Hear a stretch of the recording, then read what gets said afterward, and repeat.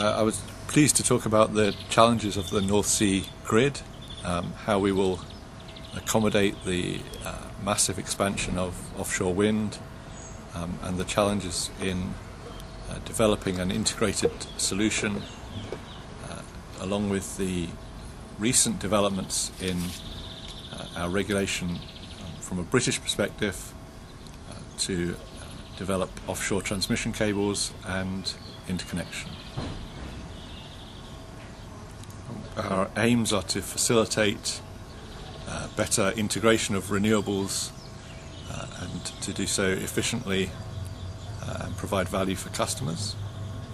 So we've had an interesting discussion here in the Florence School of Regulation's first executive seminar on renewables.